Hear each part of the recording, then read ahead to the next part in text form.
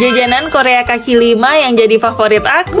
Pas banget sore-sore lapar mampir jajan ke tempat ini. Makan odeng di pinggir jalan ala-ala drakor buat yang belum pernah ke sini wajib banget cobain odengnya. Kuah odengnya itu gurih segar, tekstur odengnya lembut, kenyal, ikannya berasa. Asli ini beneran bikin nagih. Ada raboki juga. Bumbunya rasanya tuh pedes gurih walaupun ini kelihatannya merah banget tapi tenang pedesnya yang ringan yang masih bisa kamu nikmatin. Nah, ini salah satu menu favorit aku aku ceker pedasnya. Cekernya lembut satu porsinya lumayan banyak ya. Rasanya ini gurih seger pedas. Yang bikin aku suka makan di tempat ini. Walaupun pedas tapi bukan yang bikin kita kepedesan gitu loh. Kita masih bisa menikmati makanannya tuh sampai habis. Untuk gorengannya tuh ada mandu. Ini isiannya daging ayam ya. Ini kayak pastel tapi dimasaknya nggak sampai garing. Makan polosan gini sebenarnya udah enak tapi kalau kamu rasa ini kurang gurih bisa cocolin lagi sama soy sauce-nya. Menu terakhir yang aku cobain ada dagajeng ditambah gimbap satu menu paketan yang bikin kenyang. Ada ayam saus kental pedas manis dicampur sama tteokbokki dan kentang. Ditambah sama gimbapnya. Ini namanya obat lapar. Ada di jalan WR Supratman. Bukannya dari jam setengah tiga sore sampai jam setengah sembilan malam. Kira-kira menu favorit kalian di sini apa? Komen-komen ya